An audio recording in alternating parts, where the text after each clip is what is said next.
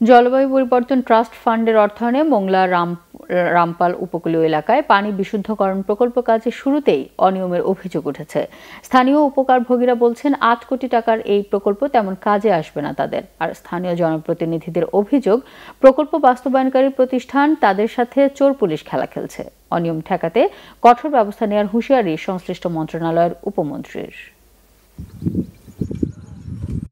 জলবায়ু পরিবর্তনের কারণে দীর্ঘদিন বিশুদ্ধ পানির সংকট চলছে বাগেরহাটের মোংলাসহ আশপাশের এলাকায়।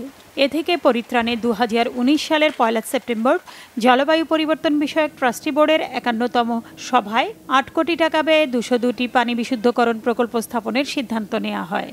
এরপর চলতি বছরের জুলাই ও আগস্ট মাসব্যাপী ওই প্রকল্প বাস্তবায়নের লক্ষ্যে মোংলার বুড়িরডাঙ্গা ইউনিয়নে স্থাপন করা হয়েছে পনেরোটি সৌর বিদ্যুৎ চালিত পানি বিশুদ্ধকরণ প্রকল্প।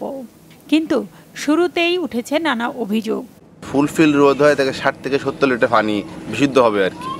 তাতে করে মনে করেন যে ফার্স্ট ফ্যামিলি মানে ব্যবহারের জন্য খাওয়াও উপযোগী হবে না। সরকার তো এটা দিছে আমাদের ভালোর জন্য এলাকার উন্নয়নের জন্য দিছে। মানে সরকার যে টাকাটা খরচ করার কথা বলা হয়েছে এটা তো সেইভাবে কাজটা হয় না এটা ভবিষ্যতে টেকসই হবে কিনা তা বলতে পারব না ওরা তো ওইভাবে করে গেল।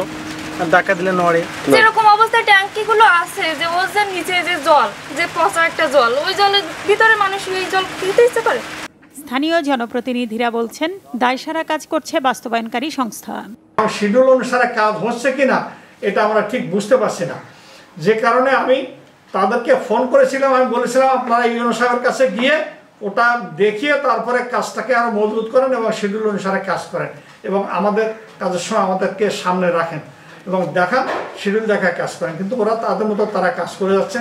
প্রকল্প বাস্তবায়নকারী প্রতিষ্ঠানের প্রকৌশলী জানান কি বরাদ্দ আর কে ঠিকাদার কিছুই জানা নেই তার।